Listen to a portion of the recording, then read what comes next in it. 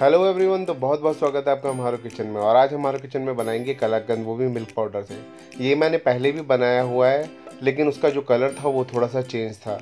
तो किसी ने मुझसे पूछा था कि इसका कलर थोड़ा सा वाइट होना चाहिए था तो इसलिए मैंने ये दोबारा मिल्क पाउडर से बनाया क्योंकि पिछली बार मैंने ये मावे से बनाया था, मिल्क पाउडर से जो हमने मावा बनाया था। तो इसलिए मैंने डायरेक्टली आज मिल्क पाउडर से बनाया तो ये वीडियो आपके लिए बहुत ही इंपॉर्टेंट हो सकता है। तो इस वीडियो को बिल्कुल एंड तक देखिएगा। लेकिन वीडियो शुरू करने से पहले मैं आप लोगों से रिक्वेस्ट करना चाहूँगा कि अगर आपने अभी तक हमारे चैनल को सब्सक्राइब नहीं किया तो प्लीज़ सब्सक्राइब कर लीजिए और जो बेलाइकन है, उसको भी प्रेस कर दीजिए, ताकि हमारे आने वाले वीडियो आप तक जल्द से जल्द पहुँचे।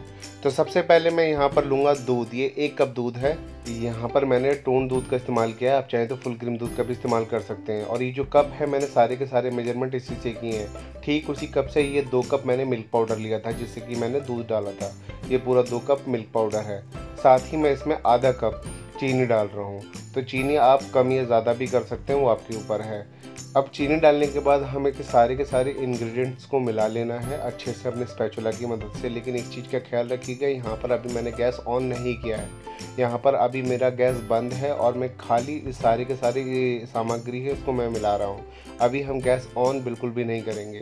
तो यहाँ पर देखिए, यहाँ पर मेरी जो सारी सामग्री है, सारे इन्ग्रीडियंट्स हैं, वो सारे के सारे मिल चुके हैं और इसके जो दाने हैं, मैंने मार लिए हैं। अब यहाँ पर मैं इस्तेमाल कर रहा हूँ दो चम्मच देसी घी।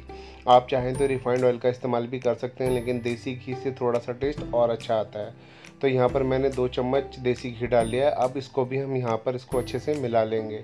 अभी आपको ज़्यादा टेंशन लेने की कोई ज़रूरत नहीं है। अगर इसमें लम्ब पड़ रहे हैं तो कोई दिक्कत नहीं है, लेकिन जब आप इसको हीट देंगे तो ये अपने आप ठीक हो जाएँगे। तो यहाँ पर अब मैं गैस ऑन कर रहा हूँ। अब गैस ऑन करने के बाद जो फ्लेम है, मैं लो टू मीडियम के बीच में करूँगा। ना मीडियम रखूँगा, ना लो रखूँगा लो टू मीडियम के बीच में रखूँगा और सारा का सारा प्रोसेस अब हम इसी फ्लेम पे करेंगे। अब यहाँ पर आपको बस एक चीज़ का ख्याल रखना है कि आपको जो स्पैचुला से उसको बिल्कुल चलाते हुए पकाना है। बिल्कुल भी मत छोड़िएगा। अभी क्या है कि हमें कलाकंद बनाना है तो कलाकंद के अंदर थोड़े बहुत दाने होने चाहिए। तो इसके लिए क्या हम कर रहे हैं कि थोड़ा सा मैंने आधा चम्मच नींबू का रस ले लिया है। अगर आपके घर पे नींबू ना हो, अगर आपके पास विनेगर पड़ा है तो आप आधा चम्मच विनेगर भी इसके अंदर डाल सकते हैं। तो फ़िलहाल मैंने यहाँ पर नींबू का रस ही इस्तेमाल किया है ताकि इसमें अच्छे से दाने पड़ जाए। क्योंकि मैंने यहाँ पर एवरीडे का मिल्क पाउडर इस्तेमाल किया है तो ये एक अच्छी कंपनी है। अगर कोई नॉर्मल कंपनी का मिल्क पाउडर होता तो उसमें दाने नॉर्मल वैसे भी पड़ जाते। तो अभी यहाँ पर आप देख पा रहे हैं कि जो हमारा मावा जो तैयार हुआ, उसके अंदर बहुत ही अच्छे दाने पड़ गए यानी अभी जो हमारा कलाकंद है, वो बहुत अच्छा बनेगा। तो पाँच से दस मिनट ही मैंने इसको चलाया, जो इसकी कंसिस्टेंसी जमने के लायक हो चुकी है।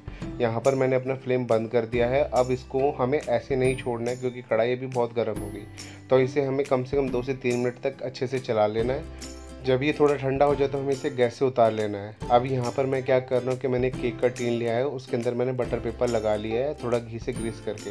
अब क्या है, हम इसी के अंदर अपनी सारी की सारी बर्फ़ी को जमा लेंगे। तो यहाँ पर क्या मैं स्पैचुला की मदद से इसको सेट कर रहा हूँ। तो यहाँ मैं एक कॉर्नर पे कर लूँगा, क्योंकि मेरा बेस बहुत ज़्यादा नहीं था, इसलिए मैं पूरे टीन में इसको नहीं फैला रहा हूँ। इसको मैं एक कॉर्नर पर जमा रहा हूँ। साथ ही मैं इसके ऊपर पिस्ता और बादाम से इसको गार्निश कर रहा हूँ, ताकि हमारी जो बर्फ़ी वो बहुत ही अच्छी दिखे।